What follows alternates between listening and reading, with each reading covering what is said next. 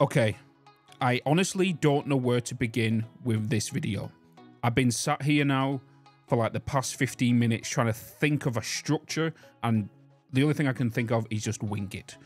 I'm just going to try and do my best to get this video out and try and keep all the knowledge that's currently trying to keep in my brain from what I've just absorbed from the coffee stain video, which I'll link in the description.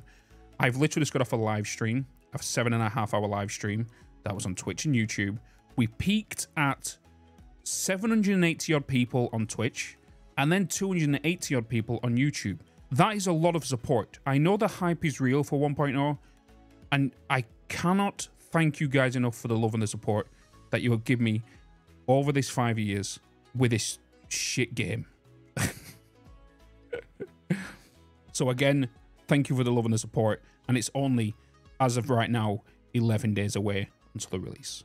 So the first thing they actually show us is the Mark 6 belt. It's officially confirmed and it does transport 1,200 items per minute. And that is accompanied with a Mark 6 lift because as you know, over the many years as we've had Mark III miners and you overclock them, we get an output of 1200 and we've never been able to capitalize on that like yield from the miner to our factories. We've always had to use the maximum of a Mark V belt.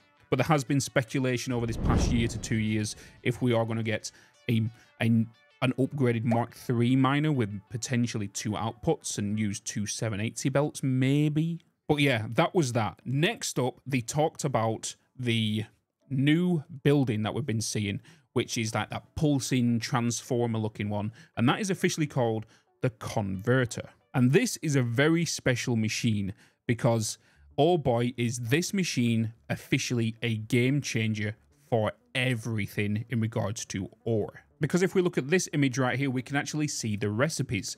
And inside the recipes, it just looks normal. You can see iron, copper, limestone, coal, more coal, sulfur, bacterium, and so on. So what this building does, it takes in raw ore, mixes it with the SAM juice, that is the packaged one, and then it outputs another item. So it converts one ore to another, basically, hence converter. So let's say, for example, I'm a lover of sulfur, and I've always wished for there to be more sulfur in the game. Well, now we can, because if we look at this recipe right here, we can see sulfur bracket iron. So what this means is if we was to mix iron with this recipe with the SAM juice, which is this down here, we will then make sulfur. We don't know the output. It might be, you know, a large amount. It might be a, uh, we might need a large amount of items.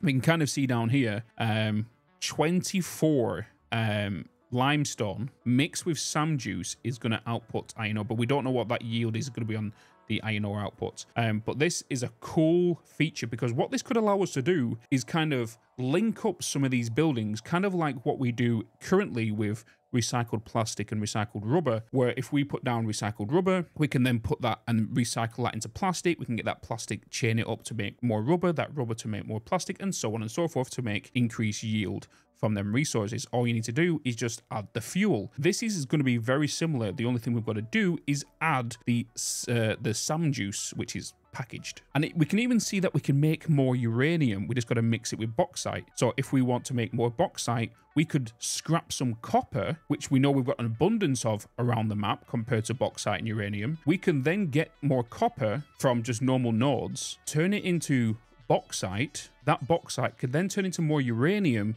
where then we can make more power, more uh, nuclear waste, which means more plutonium and more other things we'll see later on in the video. So it's a cool ass machine, and this could dramatically change how people's factories work, especially late game. And then, as you know, we've been looking at and speculating of what this new ingot is that we've been seeing coming out of what we now know as the converter, which we thought it was gold, we thought it was like another variant of Caterium or bronze. There's been so many speculations what it is. And the official name for it is Ficsite ingots. So that's what it is, is kind of a unique name for a FICSIT company. And the way this one works, it takes in ingots with the SAM juice, so it doesn't take in ore like what the other recipes do. So let's say it can take in iron, caterium, and aluminium. They all go into the converter, and they all give off different yields because aluminium, caterium, and iron all have different rarity properties because aluminium is obviously more rarer than what iron is. So it makes sense that the aluminium will get more yield. And then the ficsite uh, ingots then go into the constructor, as we know, which make these triangle Toblerones, which officially have a name called tri uh, ficsite, ficsite trigons. Uh, and that's the name, but I'm still going to call them Toblerones, and hopefully you guys do as well, because there's no way I'm running around going, oh, I need ficsite trigons. Um, I'm going to be calling them Toblerones. It's more fun, and it's just me. So, and then even more items that can be made in the converter. I'm sorry, there's so much information within this video. I'm trying to be clear as possible, but there's a new item it, uh, it makes called a time crystal, and that is that little cube transistor thing that we see uh, in the teaser where I actually could not find, but then one of you guys pointed it out, and then I also noticed it straight after I uploaded the video, and I felt like a right spoon. And that time crystal actually only needs, wait for it, diamond, which I apologize if you don't get my sense of humor, but it was so obvious that it was diamond and not lube or jelly, where some of you were getting so mad why you think I would think it was lube. But I apologize if you don't get my humor. But now that we know it's diamond, we know that comes from the particle accelerator from coal. But here is the kicker because to make 30 of uh, 30 diamond, it consumes 600 coal. So yeah, 600 coal makes 30 diamond. And now we can see why there's a lot more coal nodes added to the map. And then it also is going to make us use the converter to make coal from our already established ores that we might not be using. And then convert that with the SAM juice to make coal. And then, drum roll please, the new machine that we've not talked about yet is officially confirmed as the Quantum Encoder. Round of applause. We got this right, um, which was, uh, was a nice surprise to be honest. Um, but to be honest, like with the recipes that we did and the recipes we brought down, we got everything right. We we speculated right, and it, it, it does feel good that we've we we did our research, we did our look into everything, and uh, it, it's uh, yeah, we got it all right. So it is the quantum computer, quantum, quantum encoder, sorry, and then that has three solid inputs and um, one liquid input and it also has one liquid output. But this machine is a very advanced machine that does very, very high end uh, items that we're going to need for future things. This is kind of like the gateway to the big stuff. So uh, the quantum encoder does fluctuate with so much power compared to what the particle accelerator does and all that kind of stuff. And then also in this shot right here, you can see that it's taking in the quantum computer. It's also taking in the trigons slash Toblerones. It's taking in the time crystals and it's taking in this blue juice, which I'm still calling blue juice right now. We have pink juice, sorry, Sam juice, blue juice, and we've also got that other pink juice, which we will get to because they do officially have names, but I'm still going to call them blue and pink juice, even though technically they're not a liquid, gas, or plasma. But back to this image at hand, we can see the quantum encoder, and we now officially have confirmation that this is no longer the quantum computer. It's now the supercomputer. So, eagle-eyed viewer may have noticed in the teaser video that we did see the quantum uh, computer. It is there in the teaser video. You can see it coming out of the uh, manufacturer.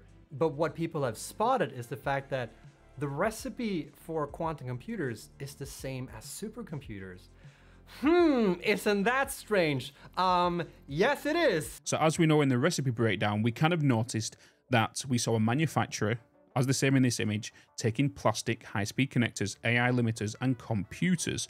And that was the original recipe for supercomputers. But they've reskinned the supercomputer, because as you can see, I'll put a little image up on screen right now. I did have a little theory on um, on Twitter, uh, and you can see that the supercomputer has officially now received a new skin, which is the quantum computer that we've had for many years in the FICSMAS calendar to unlock the hard drives. So now the quantum encoder is officially this supercomputer and the quantum computer is no longer a thing. So because quantum computers are no more, they've actually made this one, which I thought was the new quantum computer, and the old quantum computer was the now the supercomputer, which we already know it is.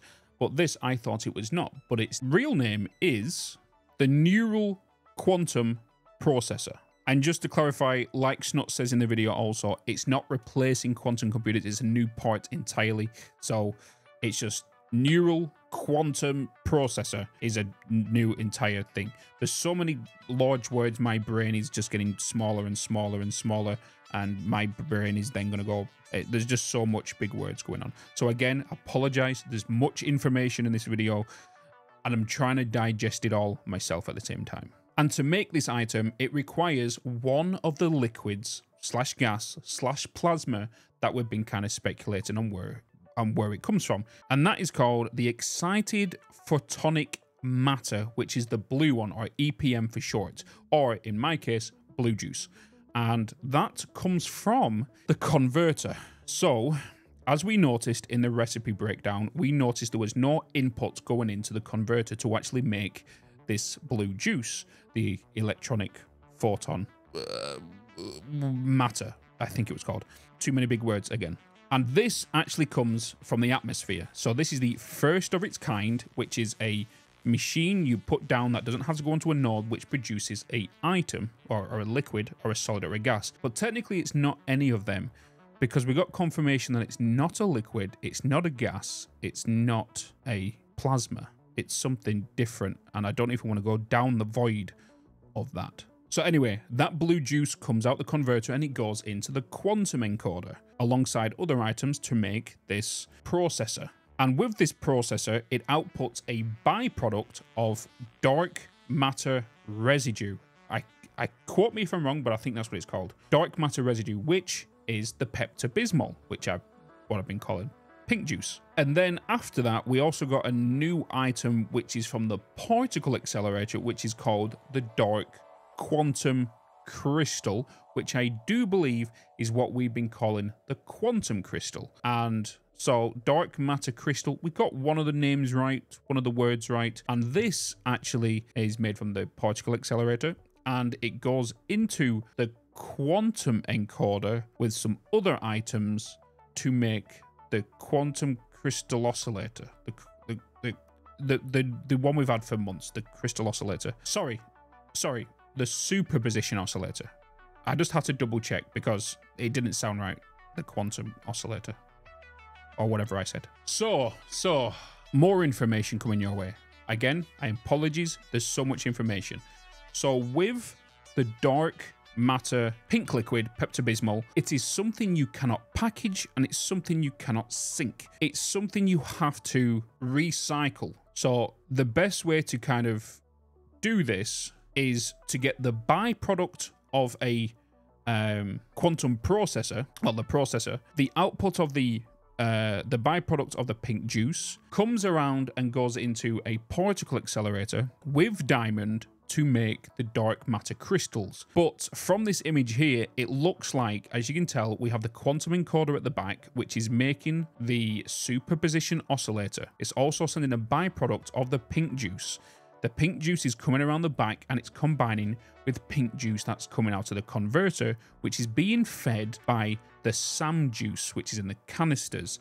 So that SAM juice is going into here to make the matter juice, the pink juice, the Pepto-Bismol juice, whichever we want to call it. That then comes into this particle accelerator with diamond to make the quantum dark matter crystals. Um, sorry, the dark matter crystals. There's no quantum in there. Uh, and they go background and it's kind of like a whole kind of loop. So you can see how potentially complicated this could get, especially in large scale or just further down the line we go because it's it's and then inside the quantum encoder we found out we can make synthetic power shard which means we don't have to keep running around to slugs to go and get what, they, uh, what we need from them that is only kind of for anything up to maybe you could say phase 7 or 8 um, and by that time you're probably going to have a few anyway. But once you get it unlocked we then get the synthetic power shards which technically we can get unlimited of because nothing's depletable in this game. So, and the synthetic power shards require dark matter crystal, quartz, and time crystals. Whew. And then again, the synthetic crystals, when they are made, also output a byproduct of the pink juice. Again, I'm not going to be using the names that they are. They're too long. You could just call them R, whatever the names was, RMD or RDM or pink juice, blue juice, Sam juice. That's all we need to know. Oh, and Toblerones. Can't forget about that one.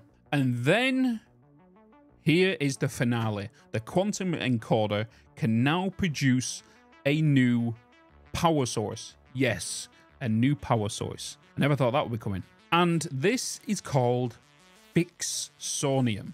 Again, fix as in FICSIT. And what this is, is an IKEA lamp. And that IKEA lamp is a new power source, as we kind of expected. And as Snutt said in the video, with a very bad, very, very bad pun or dad joke, it lightens up the room. Mm-hmm. Let that sink in. IKEA reference, if you didn't get it. And then we got the confirmation about a new item as well called Singularity Cells, which is the item that's making from nuclear pasta, dark matter crystals, uh, concrete, and iron plates, which is kind of what we see at the end of the video, which makes um, the Singularity Cells, which is basically the Death Star. And then you get as we know, we get the pink juice, we mix it with the singularity cells, then the singularity cells mix with, yes, plutonium waste, which means we can finally recycle plutonium waste. So nuclear nuclear uh, waste is now recyclable into plutonium. Plutonium is now able to go into singular, not singularity cells, ficsonium.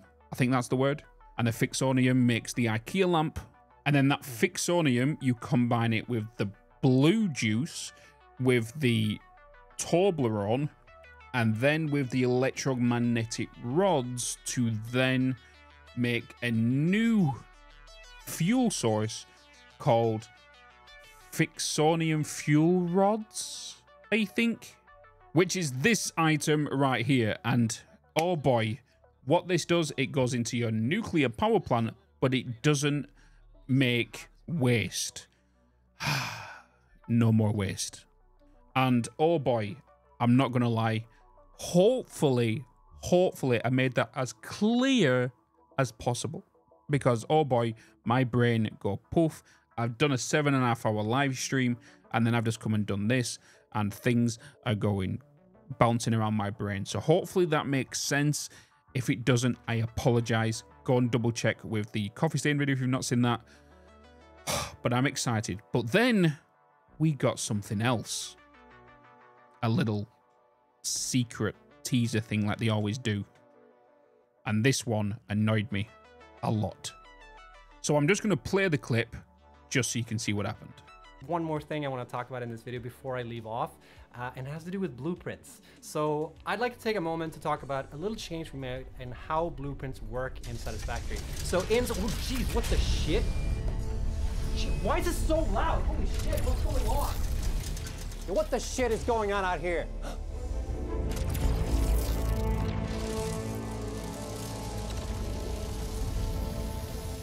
Holy shit, lasers?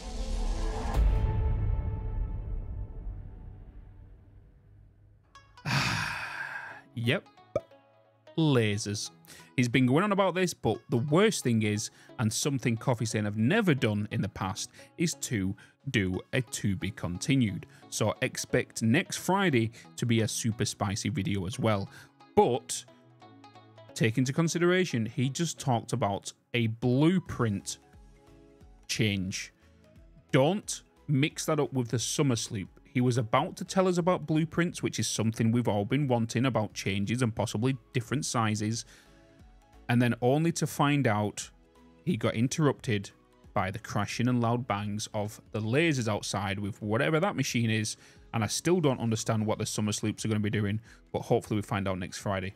So, guys, much love. Hopefully you enjoyed this video. It might be a bit too wordy. Hopefully I made it as understandable as you can. And if I, please let me know how I did. It was a lot of information. It's been a long day and I appreciate you all. So thank you so much for the love And as always, we are getting closer to 1.0. So again, like, subscribe, and also leave a comment. Without further ado, keep smiling. And I'll see you in another video. There's so much. Oh my god.